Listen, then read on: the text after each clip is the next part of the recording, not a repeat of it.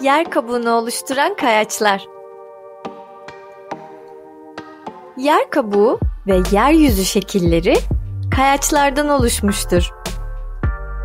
Dağlar, tepeler, ovalar, vadiler gibi tüm yeryüzü şekilleri kayaçlarla çevrilidir. Kayaçları deniz kıyısındaki uçurumlarda ve toprağın içinde de görebilirsiniz. Kayaçlar dünyanın doğal ve sağlam parçalarıdır. Peki bu kadar sağlam olan kayaçlar sizce nasıl oluşmuştur? Yer kürenin derinliklerindeki magma ve gazlar basınç altında kalıp yer kabuğundaki çatlaklardan yeryüzüne çıkacak bir yol açmaya çalıştıklarında yanar dağlar yani diğer adıyla volkanlar oluşur. İşte bu gördüğümüz alev topu gibi volkanlar dünyada sıcak ve erimiş haldeki kayaçların yeryüzüne çıktığı yerlerdir.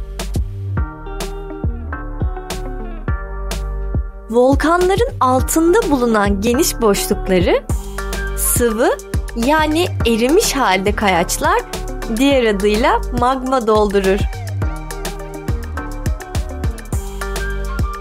İşte kayaçlar dünyanın manto tabakasında bulunan bu magmanın yeryüzüne ulaşarak soğuyup katılaşmasıyla oluşur.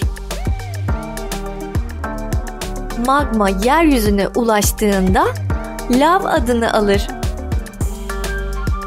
Lavların ısısı 1200 santigrat dereceyi geçer ve saatte 100 kilometreyi aşan bir hızla akarlar.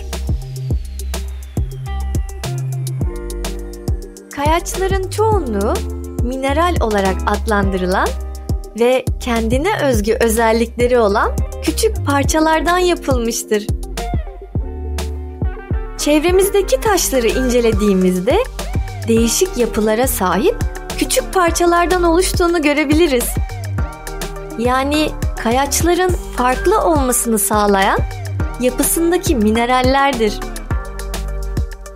Bu mineraller kristal yapılıdır ve değişik renklerde olabilir.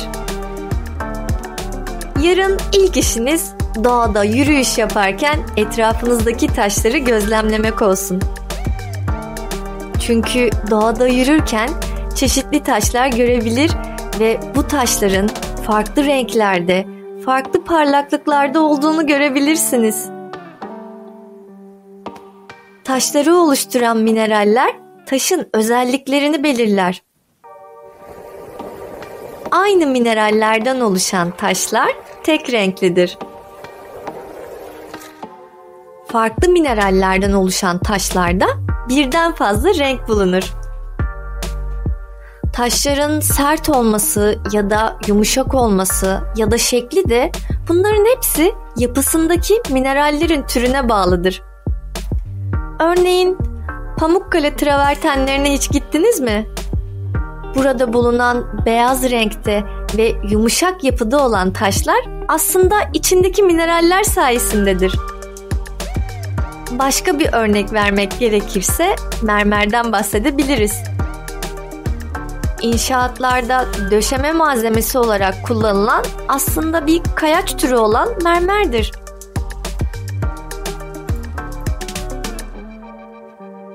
Kayaçlar canlı hayatın beslenmesi ve barınması için gerekli ana malzemedir. Hayatımızın her anında olan bir unsurdur. Özellikle de yapı malzemesi olarak kullanılır. Ayrıca süs eşyası yapımında ve enerji kaynağı olarak da kullanılır. Kayaçlar birçok sanayi dalının ham maddesidir. Bünyelerinde bulunan birçok element veya mineraller değerli madenleri oluşturmaktadır. Kayaçlar yer kabuğunu oluşturan temel maddelerdir. yer kabuğunun farklı derinliklerinden çıkarılan ve ekonomik değeri olan kayaç ve minerallere maden adı verilir. Başta altın olmak üzere gümüş, kömür, elmas, mermer gibi madenler ülke ekonomisine çok büyük destek sağlamaktadır. Günlük hayatımızın her alanında kullanılan madenlerden ekonomik ihtiyaç karşılanırken ham veya işlenmiş şekilde de yararlanılır. Kayaçlar rüzgar, sıcaklık farkı, yağmur ve akarsu gibi dış faktörlerin etkisiyle parçalanabilirler.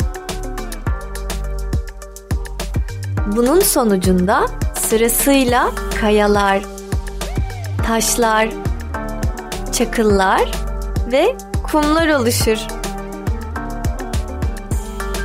Jeolojiyi hiç duydunuz mu?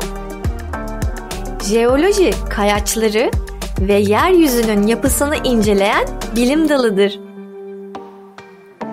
Bunları inceleyen bilim insanlarına verilen isim ise jeologtur.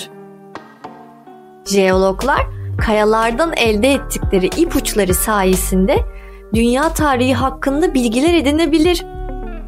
Hadi jeolog olmak isteyenler el kaldırsın.